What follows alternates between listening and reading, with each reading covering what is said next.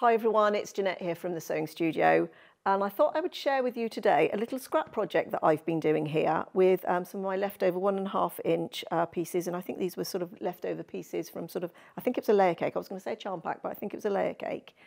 Um, but before we get into the demo, I've been having a little look around because my brain exploded a little bit when I started doing this. Now this is a, a recreation of a little cushion I'd done before with little heart appliques on it and that was also from scraps. Um, and I know Katrina in her postcard video has said, we've decided this year is the year of the scraps. We need to do some projects to get in control of our scraps. Um, so I was recreating this one. But as I said, my brain exploded when I started to do this because it was coming up with all sorts of different versions that we could do this in. So you could do Halloween, we could do Christmas, we could do autumn, you could do patriotic. It's just, there's no, it's limitless really. Um, so I've been having a little look around the shop at some of the fabrics and, and particularly Halloween. I think my next one I'm going to do, I've started prepping a Christmas one, is going to be a Halloween one. So I was having a look at some of our new in fabrics and I'm just going to move that out of the way for the minute and put this one in. Um, because this this lovely fabric called Hey Boo from Lella Boutique. I love Lella Boutique's fabrics. And it's really interesting because it's Halloween, but it's not traditional Halloween. So let me just see if I can get it under the close-up and peel some of these back um, because I saw this and I thought, yeah, this cushion would look great in this. As I said, I've done that with one and a half inch strips, but you could easily alter the size of those. So you could do two inch strips, two and a half inch strips, whichever. But I love these little ghosts with their little rosy cheeks. They're just so sweet. Nothing scary. Um, so you've got all these.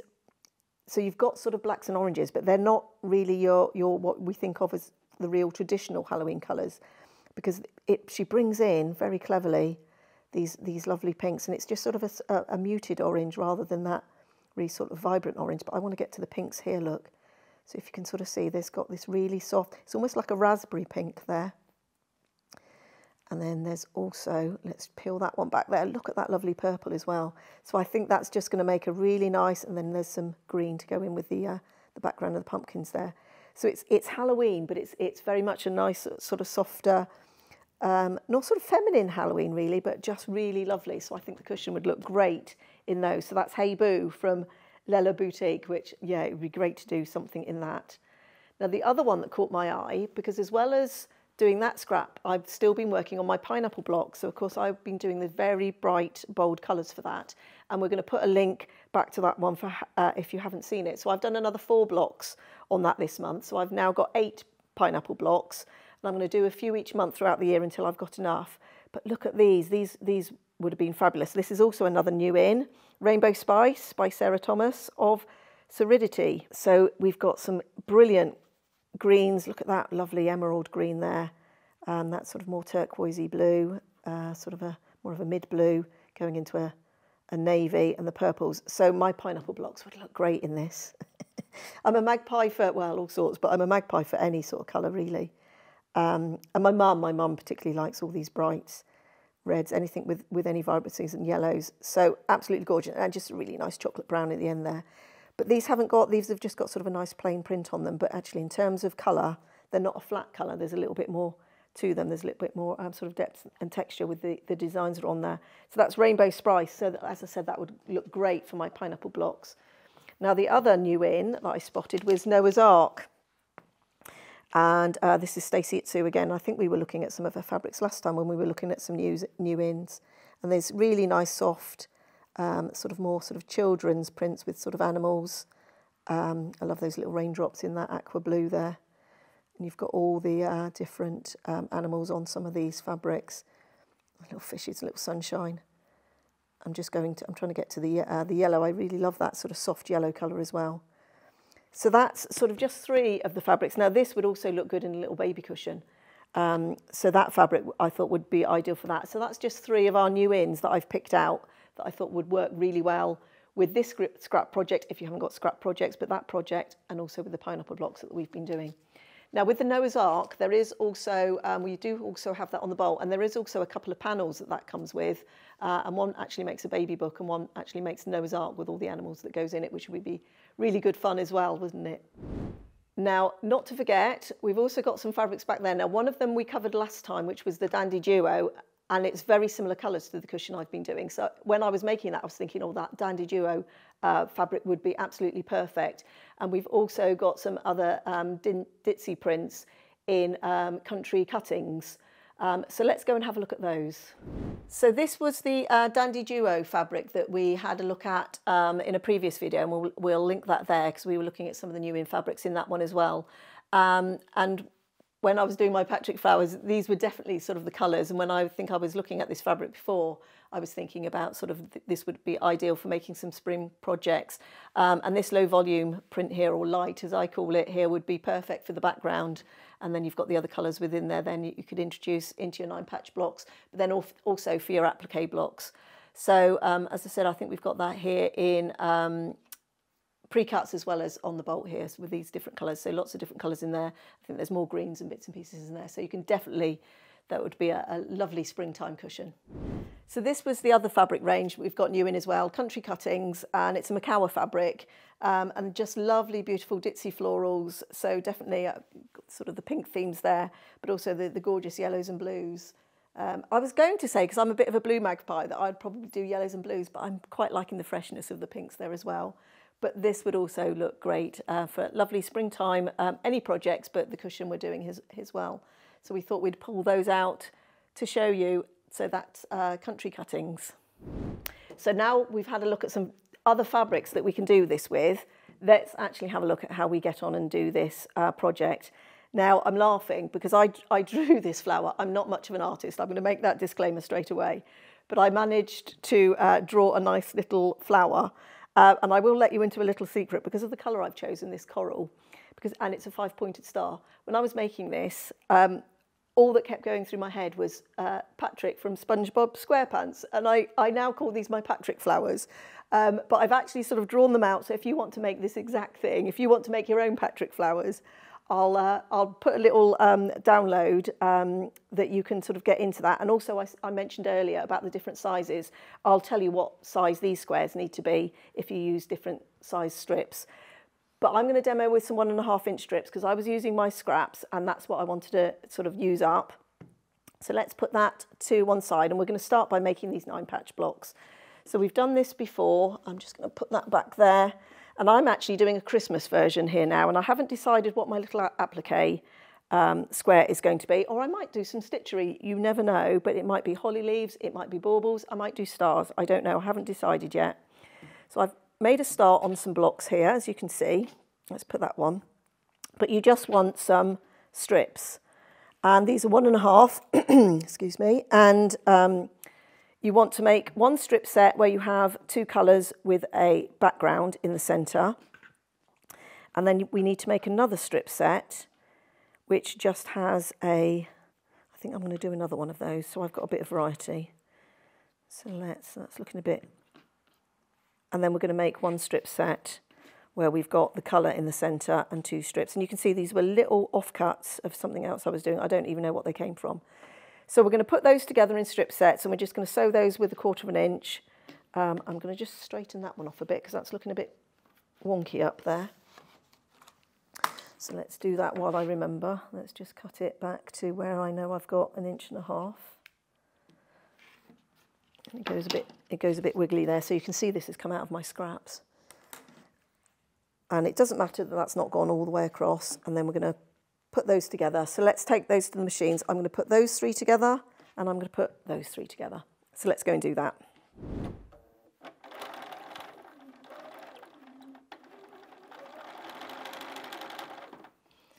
Now, as you can see, these strips are different lengths. That's okay, as long as they're one and a half inches wide. Uh, we'll just get as many cuts out of that as we can. So.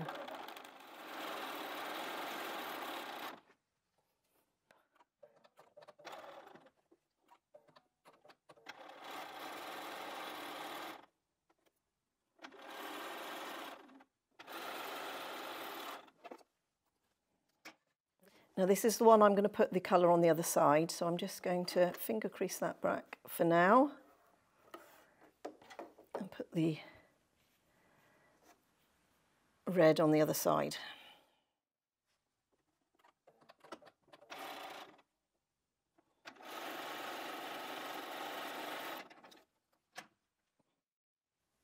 And the same with this one, but we're going to put white on the background.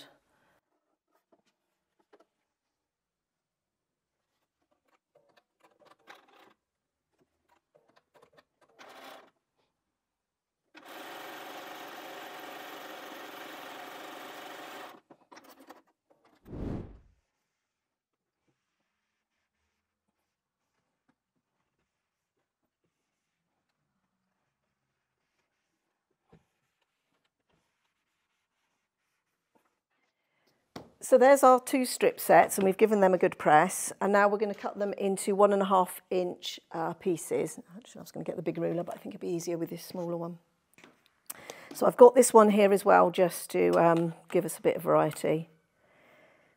So I'm going to line up, let me put it under the close-up so you can see. I'm going to line up one of the lines with the seam line, making sure my one and a half inches is in. And then we're just going to give that a cut and I can flip that round. These are ever so quick. You only need eight for that little cushion. And it turns out uh, 12 inch, 12 inch finished cushion. So let's just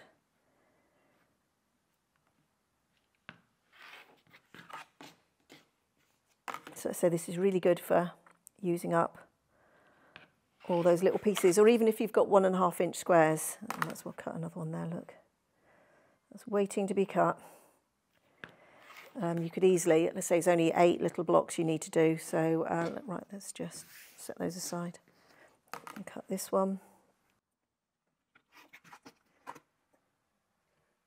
And you can see I've got all sorts of oddments of fabric in this. There we are, that one, that's all rubbish. Let's put that down there.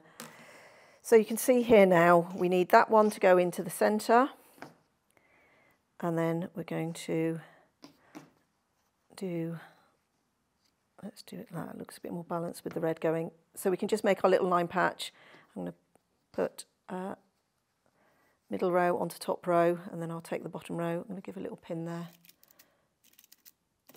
But these come together really quickly.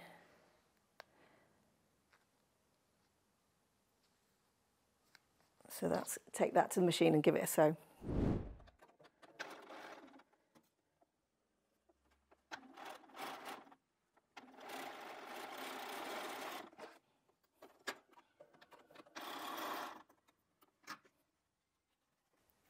I'm just going to finger press that seam for a minute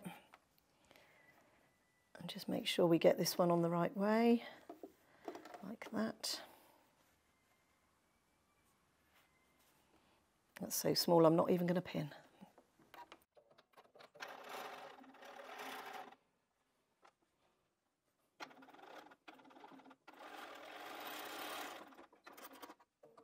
Now because these blocks are quite small, I tend to press this final, these two or two final seams, not one final seam, two final seams open. But I'll just press them in for now. But at home, I've been pressing those open. They, they lay a little bit flatter. Actually, let's just make sure.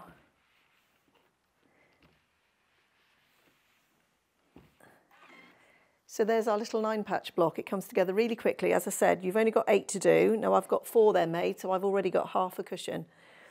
So let's just bring the cushion in actually, and I'll put those to one side to sew later. Should we have a look how we make the flowers? Um, now I've hand stitched these down, but you can, of course, you know, machine stitch them. I've done a little hand blanket stitch. Um, and then I've just done a little applique stitch on the uh, flower centres. So I'm going to show you how I did that. Now I've got one little Patrick flower here left to show you the blanket stitch. Now I have done a little video um, with some hand stitch um, techniques on.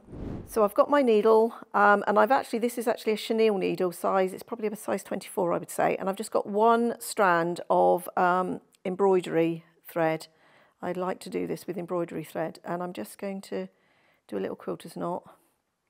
So we just wrap the thread around the needle, we hold where we've wrapped, and we just pull it through. Now you have to be a bit more careful with this because it's got a bigger eye, but it should go through okay. Now, one thing I will say that you've probably noticed is I've already put a piece of wadding on the back. And I don't know how well you can see it on camera, but you can see I'm hand stitching the flowers down through the wadding as well. So that sort of helps to quilt it. But I always put a piece of wadding uh, behind the fronts of my cushions. I, I think it just makes them look a little bit more padded um, and then I'll put a lining in on top. So I'm going to start here and I'm going to come up my first stitch because I ended my thread there. So I'm going to come up right on the outside of that stitch and then I'm going to go over and I'm trying to keep the sort of distance and the length of these stitches about the same. And for this little flower, and then I'm going to put that thread under the needle. Now if I was sat at home, it would look a little bit, yeah, it would be a little bit easier, but you can sort of do it. The other way you can do it is just sort of hold that thread with your thumb and then you're sort of stitching with that thread. I'm just making small little stitches. It's a bit hard to do standing up, I think we'll whiz round. We haven't got much to do, we haven't got very far to go. But I love to do a little uh, blanket stitch. I sit there in the evenings in front of the TV. Sorry, I'm trying to do it so I can hold it, but also so that you can see what I'm doing.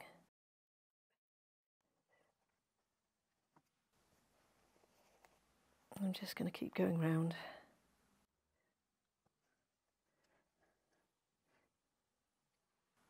And I'm just concentrating that needle comes right out on the edge, on the edge of the uh, stitch. So this was put down using um, fusible, uh, uh, I think it was either Bondaweb or Heat and Bond, something like that. Um, paperback fusible, double-sided.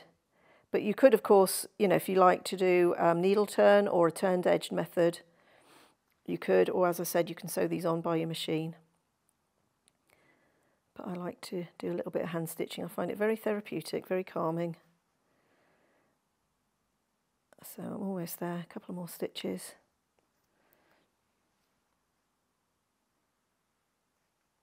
And one more stitch. Actually two. I'm going to do one in the side and just one in that little centre valley of the flower right there. And then that's that flower on. Now I just take my needle through to the back and I'm just going to knot that thread off.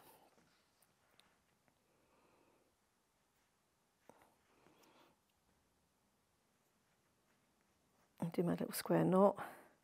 So I did a bit fast there, shall I do that again? So what I do with the square knot is you put one thread in one direction and the bottom of the thread in the other direction and then pull. And then I tend to just travel my needle away just through the, the wadding so I'm not snipping right near that knot so I don't accidentally snip that knot.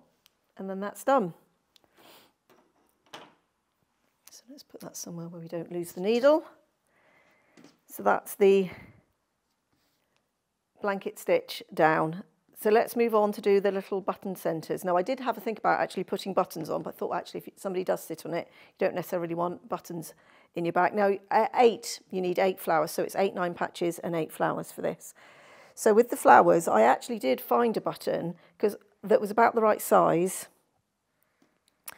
And I've got a little scrap of fabric here, and what I'm going to do is I'm actually going to draw around that button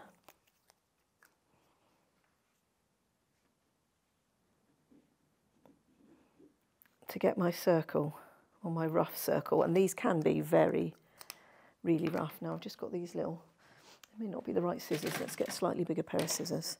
And I'm just going to trim in a circle-ish shape leaving myself quite a nice gap around that circle. And I use that button. It's actually slightly bigger than I need it to be. I'm not going to worry that there's a little bite out of that there. I'm just going to round that off a little bit more. So I'm just going to make that little shape like that. And then I'm going to grab myself a piece of cotton. Now, if you've got a sew-all thread, it tends to be a bit stronger for this, but I'm just going to use this bit of cotton. So I'm going to do my little knot at the end again here. Oh. This cotton's very uh, coily come off the spool that was on the machine. I think it's a new spool though, so. But it'll be fine, it's the right colour. I just want something that's going to blend into the background. Now on this one, I'm just going to do a running stitch and all that is, and I'm just going to make tiny little stitches. Now, the rule of thumb with this is the smaller you can make these little stitches as you go around the outside, the sort of better curve you'll get on your, if you do giant stitches, you'll end up with sort of points. So I'm just going to do these little stitches. And I've changed my needle. I've actually, I'm actually using now, um, it's one of the little needles I use when I'm doing applique and it's a, a clover black gold. Um, and I use them when I'm using, uh, when I'm doing my English paper piecing as well. They're really nice. It's fine, sharp, but it's got quite a small eye. I think, I don't know what size this is. This might be a, a 9 or a 10.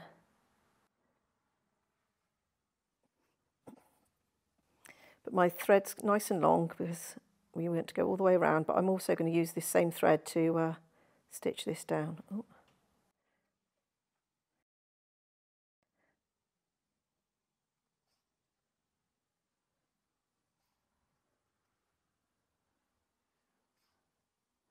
Almost round.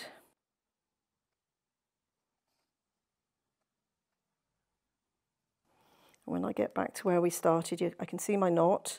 Now I've cut these little circles out of, um, they're actually scraps of fusible fleece because I'm going to put that in. So I'm going to have a little bit more of a three-dimensional shape. And then I've got a little cardboard uh, square, which I think is an inch. Oh no, three quarters of an inch. I wrote on it in pencil. I think the inch was a bit too small. And then we're just going to pull. And just pull carefully because I say, if I was using a sewall thread, you can tug on it a bit harder. But you can see there, we're just using that to create the shape. And once I've got it there, now you can take that to the iron and give it a bit of a press, but just be careful if you've used a fusible that you're not getting the glue anywhere. But I just tend to use just the heat of my fingers and just go around the edge to help it. And then once it's gone round, I'm just going to open it up a little bit and just take the cardboard shape out, but leave the piece of wadding in there.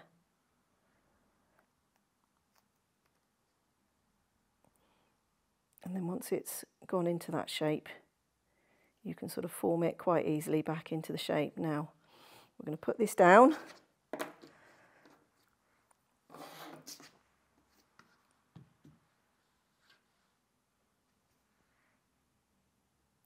Now we can put a pin in it.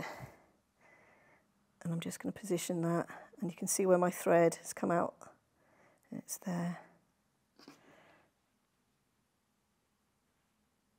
So I'm just going to put a pin there. And then I'm just going to go around with a, um, a slip stitch.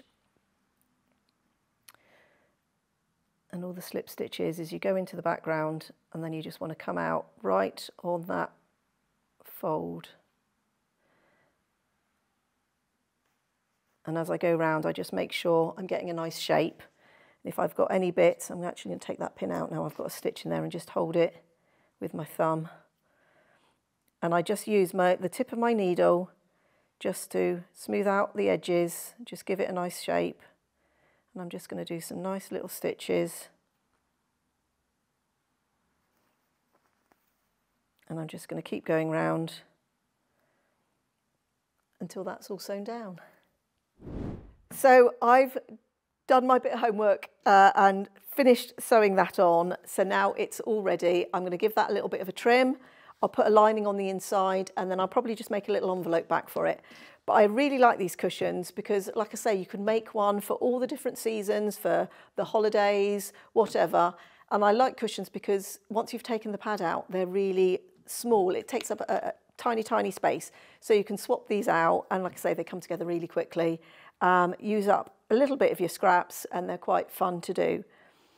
So I hope you enjoyed that video. I hope you give it a go. And if you do, please do share your videos, uh, sorry, your photos with us by um, tagging us on social media.